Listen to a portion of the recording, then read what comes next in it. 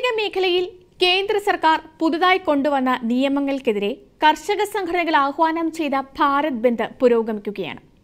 ഇതിന്റെ ഭാഗമായി ഡൽഹി ഉൾപ്പെടെയുള്ള പ്രദേശങ്ങളിൽ ഹൈവേകളും റെയിൽവേ ട്രാക്കുകളും കർഷകർ ഉപരോധിക്കുന്നുണ്ട്. വിവിധ കാർഷിക സംഘടനകൾ നടത്തുന്ന പ്രക്ഷോഭത്തിന് പ്രതിപക്ഷ രാഷ്ട്രീയ പാർട്ടികൾ പിന്തുണയും പ്രഖ്യാപിച്ചു. കേരളത്തിൽ വിവിധ സംഘടനകൾ കേന്ദ്ര സർക്കാർ ഓഫീസുകൾ ഉപരോധിക്കുന്നുണ്ട്. All India Kisan Sangharsh coordination committee all India Kisan Mahasangh Bharatiya Kisan union എന്നീ സംഘടനകളാണ് ഭാരത് ബന്ദിന് ആഹ്വാനം ചെയ്തിരിക്കുന്നത്.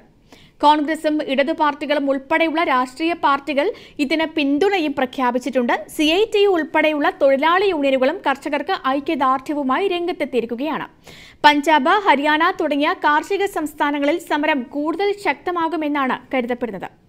ഇനി കഴിഞ്ഞ കുറച്ച് ദിവസങ്ങളായി നമ്മൾ ചർച്ച ചെയ്യുന്ന ഒരു കാര്യമാണ് കേന്ദ്ര സർക്കാർ അവതരിപ്പിച്ച കാർഷിക ബില്ല്.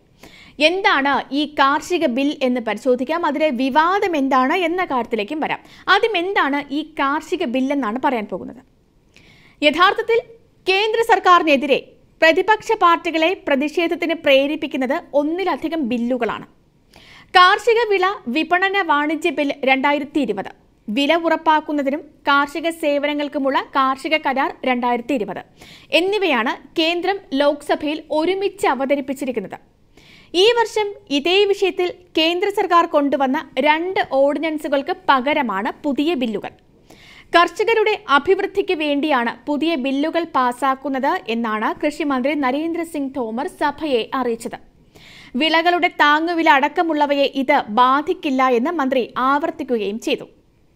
കാർഷിക വിളകൾക്ക് മികച്ച വില ഉറപ്പാക്കാനും ചൂഷണം ഒഴിവാക്കാനും സഹായിക്കുന്നതാണ് പുതിയ ബില്ലുകളെന്നാണ് കേന്ദ്ര സർക്കാർ പറയുന്നത്.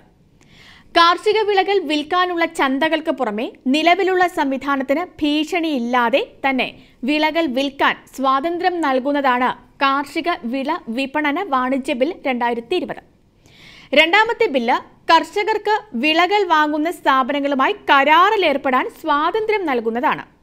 ഉൽപാദനം മെച്ചപ്പെടുത്താൻ കൂടുതൽ മാർഗങ്ങൾ സ്വീകരിക്കാനോ വിളകൾക്ക് മികച്ച വില ലഭിക്കാനായി വിലപേശാനോ ശേഷിയില്ലാത്ത എൺപത്തിയാറ് ശതമാനത്തോളം വരുന്ന ചെറുകിട കർഷകരെ സഹായിക്കുന്നതാണ് പുതിയ ബില്ലെന്നാണ് കേന്ദ്ര സർക്കാർ പറയുന്നത്. ഇനി കർഷകർ എന്തുകൊണ്ടാണ് ഈ ബില്ലുകളെ എതിർക്കുന്നത് എന്ന് ചോദിച്ചാൽ ലോക്സഭ പാസാക്കിയ ബില്ല് പ്രധാനമായും നിലവിലുള്ള ഭക്ഷ്യ സംഭരണ നിയന്ത്രണങ്ങളെ നീക്കം ചെയ്യാൻ ഉദ്ദേശിച്ചുള്ളതാണ്. ഇത് ചെറുകിട കർഷകരെ തള്ളി വൻകിട കർഷകരെ സഹായിക്കാനുള്ള നീക്കമാണെന്നാണ് ബില്ലിനെ എതിർക്കുന്നവർ ആരോപിക്കുന്നത്. മറ്റ് രണ്ട് ബില്ലുകളോടാണ് കർഷകർക്ക് ഇതിനേക്കാൾ എതിർപ്പുള്ളത്.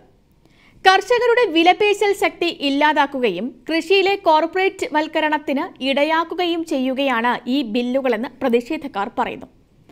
ആദ്യ ബില്ലിലെ വ്യാപാര മേഖല സംബന്ധിച്ച വ്യവസ്ഥ സംസ്ഥാന എ പി എം സികളെ ഒഴിവാക്കിക്കൊണ്ടുള്ളതാണ്. സാധാരണ കർഷകരുടെ താൽപ്പര്യങ്ങൾക്ക് വിരുദ്ധമായ കോർപ്പറേറ്റ് ആധിപത്യത്തിനാണ് ഇത് കാർഷിക മേഖലയിൽ ഇടയാക്കുക എന്ന് പ്രതിഷേധക്കാർ പറയുന്നു. Farmers producers trade and commerce ബില്ലിലെ section two M വ്യാപാര മേഖല എന്നതിനെ നിർവചിച്ചിരിക്കുന്നത് ഉൽപാദനവും സംഭരണവും നടക്കുന്ന ഇടം ഫാക്ടറി സംഭരണ കേന്ദ്രം അഥവാ വെയർഹൌസ് കോൾഡ് സ്റ്റോറേജ് ഫാങ്കേറ്റ് കാർഷികോൽപ്പന്നങ്ങൾ വിപണനം ചെയ്യാനുള്ള ഇടം എന്നൊക്കെയാണ്. ഈ നിയമത്തിലെ നിർവചനം എ പി എം സികളുടെ നിയന്ത്രണത്തിലുള്ള മാർക്കറ്റുകളുടെ ഭൗതിക ഘടനയെ അവഗണിക്കുന്നു. ആരാണ് വ്യാപാരി എന്നതിനും നിർവചനമുണ്ട്.